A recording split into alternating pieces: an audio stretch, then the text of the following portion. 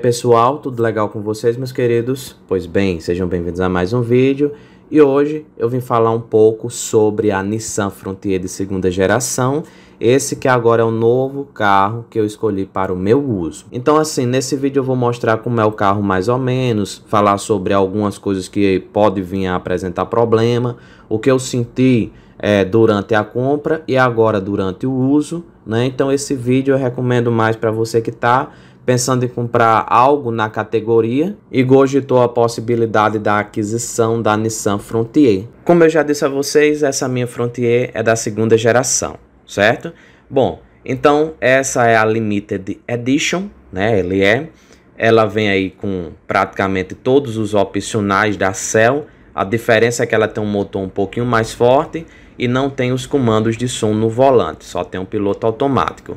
O que para mim não faz uma grande diferença, porque comando de som e volante eu posso fazer a adaptação como vou fazer daqui a alguns dias. Bom, tirando isso, essa minha versão é a mais completa e vem com tudo que se pode pensar em uma caminhonete moderna. Motor a diesel turbinado, câmbio automático e 4x4. Esses três itens são os que mais chamam a atenção, mas no mais ela vai possuir ali também toda aquela gama de tecnologia que os carros modernos é, trazem consigo, né?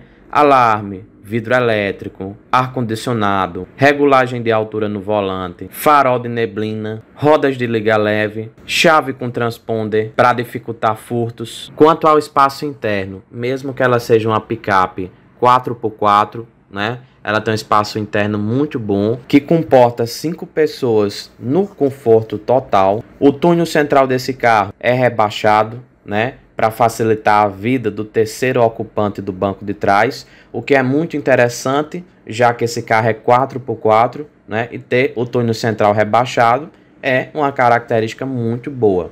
Ele é até mais baixo do que carros normais do dia a dia, né? Que não tem 4x4. Então, assim, o que me levou a pegar esse carro e colocar ele no meu dia a dia foi a questão do conforto, da altura dele, que é uma altura boa, tanto para você que usa mais em ciclo urbano como eu, como também para você que volta e meia quer se aventurar aí para algum camping, algum sítio, né? Ela não é tão alta como as concorrentes, mas ela é muito acertada mesmo para andar na estrada e em alta velocidade, certo? Isso aí sem dúvida e sem medo de ser feliz. Então, a meu ver, isso já é uma coisa muito boa de cara.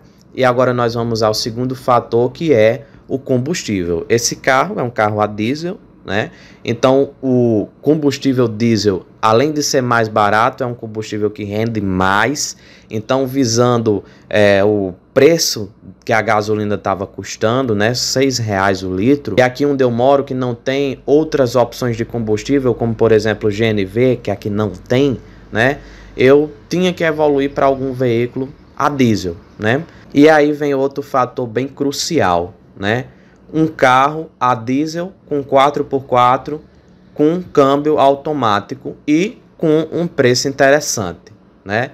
Mas que também não seja um carro trabalhoso. Então, veio logo na minha mente ver como era essa Nissan Frontier Limited Edition, né? A melhor versão desse carro é automática com 4x4, motor a diesel Deadley, né? E Limit Edition, certo? Porque essa versão, o motor dela é um pouco diferente. Então, assim, quando é, você entra dentro do carro, você sente que ele é diferenciado mesmo. A pegada dele é muito boa, ele é muito confortável para quem vai dirigindo. Então, assim, para falar a verdade, a Nissan Frontier nesse ano, nesse modelo, nessas condições, câmbio automático, né?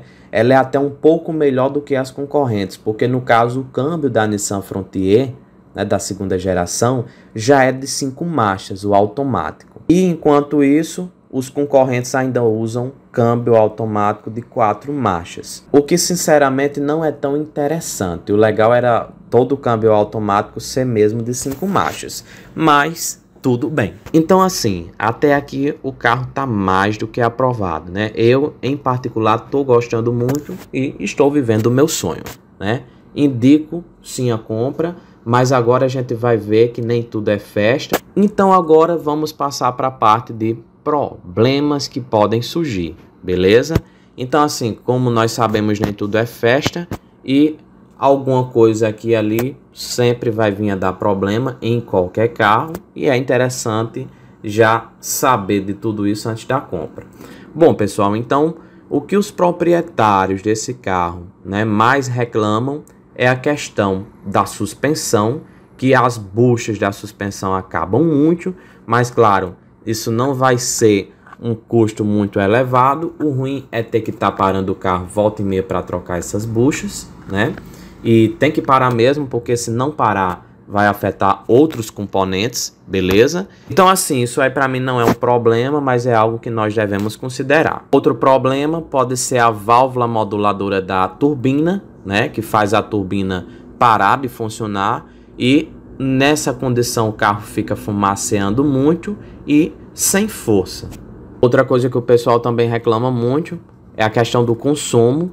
Quem teve a Frontier e teve um outro carro a diesel reclama do consumo da Frontier, diz que ela é um pouquinho mais beberrona, mas eu sinceramente eu estou gostando do consumo dela. Meu último carro foi o i30 da Hyundai e antes dele eu tinha o Cobalt da Chevrolet e antes do Cobalt eu tinha o Astra 2.0 da Chevrolet também e quer dizer, eu sempre tive carro bebedor, né?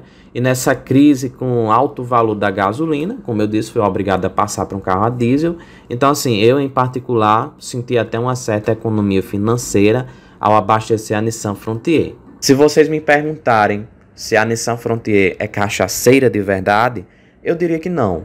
Por quê? Porque nós temos que entender que esse é um carro pesado e equipado com câmbio automático. Então, qualquer carro que vier com câmbio automático realmente vai ser um pouco mais bebedor do que um carro que vem equipado com câmbio manual. Então, não dá para comparar a Frontier automática com, por exemplo, a Frontier manual. Nem dá para comparar a Frontier automática com a S10 rodeio, né, aquela mais antiga manual, né? Então, assim, eu acho que nós temos que analisar o padrão e o perfil do carro para tomar alguma decisão. Bom, no mais eu esqueci de falar sobre a caçamba e a capacidade de carga. Bom, esse carro né, tem uma capacidade de carga muito boa e uma caçamba bem grande. Então você vai conseguir levar objetos grandes e pesados nele, né, sem grandes problemas. Por lei, num carro como esse, nós podemos levar até mil quilos. Eu já vi gente colocando mais mas eu acho que o ideal é seguir a lei de trânsito, né? Bom, pessoal, então assim, eu sinceramente indicaria sim esse carro a quem é, estivesse pensando em comprar, né? Porque ele tem muitos atrativos mesmo. A dirigibilidade é muito boa, o consumo comparado a carros a gasolina é muito bom e ela tem todas as tecnologias da atualidade, né? Eu só recomendaria fazer o que eu vou fazer na minha, que é essa questão aí de equipar. Eu vou colocar uma central multimídia dessa bem top mesmo, certo? Vocês vão ver essa instalação e vocês vão ver o uso. Vou colocar também câmera de ré e sensor de ré. Um carro grande desse jeito e com pouca visibilidade é interessante sim, né, instalar câmera de ré. Então nessa questão de acessório que eu vou colocar nesse carro vai ser coisa ali especial mesmo. E eu quero que vocês acompanhem esses vídeos sobre os acessórios que eu vou indicar para este carro, como para qualquer outro carro também, porque são coisas ali especiais mesmo, tá bom? Que todo carro merece. Pois bem, pessoal, então é isso aí. Muito obrigado pela atenção de vocês. Espero que vocês tenham gostado desse vídeo. Espero que possam tomar uma decisão baseada nesse conteúdo. Então é isso aí. Boa sorte na compra e pode ter certeza que essas palavras não são de um apaixonado por um modelo de veículo, mas sim de um amante de automóveis, certo? Então, tudo que eu disse aqui, eu não estou me empreendendo ao carro só porque comprei, certo? Eu estou me empreendendo à realidade, aos motivos que me levaram a adquirir o carro, pelo carro ser interessante no mínimo, beleza? Então é isso aí, pessoal. Até o próximo vídeo. Tchau.